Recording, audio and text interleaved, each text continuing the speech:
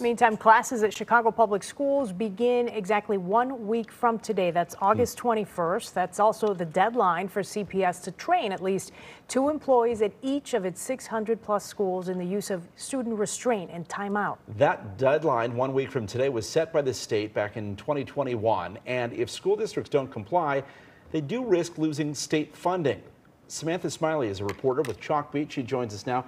Samantha, thanks for being with us. Thank you for having me. Well, first of all, let's go back and talk about how the issue of restraining students and timeouts, things like that, became an issue that lawmakers sought to address. Yeah, so that was due to a ProPublica and Chicago Tribune investigation um, that was published in 2019 about how restraint and seclusion was used across the state um, and how harmful it was to students at um, school districts around the state. And over the course of time, they have made some changes, but yet there's still this training that needs to happen. And we're a week away from the start of school and from that deadline coming up.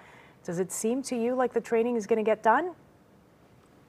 So in Chicago, so Chicago Public Schools is a little bit different from other school mm-hmm. districts across the state, um, in in that they have been um, violating the state law in terms of not having tra- uh, staff trained in how to use restraints and uh, secluding students.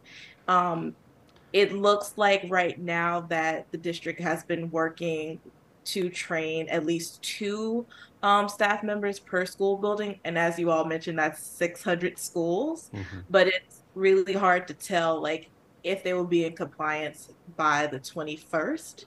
Um, hopefully next week, the State Board of Education will let us know if they if they have. And when we talk about school staff using restraint techniques on kids, whether it's in the city or the suburbs, um, you know, a lot of that can involve a child going through a mental health crisis or having some other issue where there can be a threat, not just to staff, but to other students. So what is it about this training uh, that they hope to, to, to accomplish? Is it just kind of teaching everybody the right way to do it?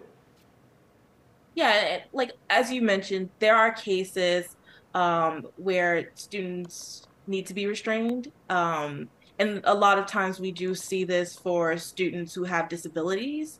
Um, but what has what the state board points out in their reports is that those staff members haven't been trained to provide to, to safely perform restraint um, and that is that's a big problem because also in those cases that was cited by the state board of education the district um, staff members in the district were using um, outlaw methods. And so it's really important for staff to you know keep students safe while they're doing these restraints all right, so you've been covering this over the course of, you know, months, it seems like. Talk to us about what you've been hearing or getting from either CPS or perhaps teachers or parents as to what is causing the slowdown in getting some of this training done. I, I think for educators who I talked to about this issue, um, there were a lot of people who wanted to get trained and were getting trained, but the pandemic hit. And so okay. a lot of their uh, certifications for training actually lapsed. And so now the, the district kind of in the process of trying to make mm-hmm. sure that mm-hmm. everybody is up to speed with training. Um, just catching up. All right, mm-hmm. Samantha from Chalkbeat, thank you so much for being with us. We appreciate it. Thank you so much. Have a good day. You too. you too.